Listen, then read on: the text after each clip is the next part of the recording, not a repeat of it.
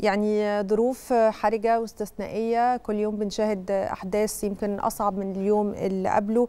المنطقة ككل بتمر بظروف بالفعل استثنائية وده الوقت لتوحيد الصف والمواقف. أهمية انعقاد هذه القمة في هذا التوقيت بالتحديد إيه؟ يعني بالفعل يعني أهمية قصوى هذه القمة العربية نظرا لهذه التحديات الجسام التي تعصف باستقرار هذه المنطقة.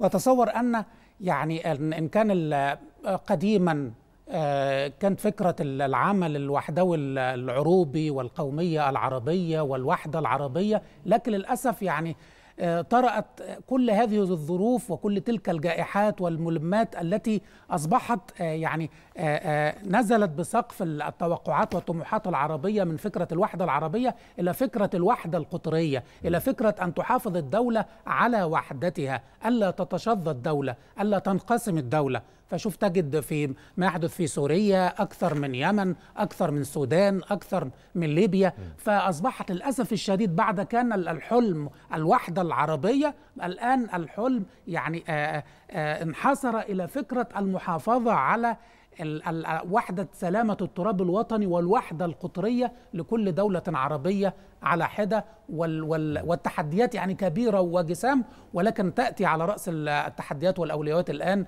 ما يحدث في غزة.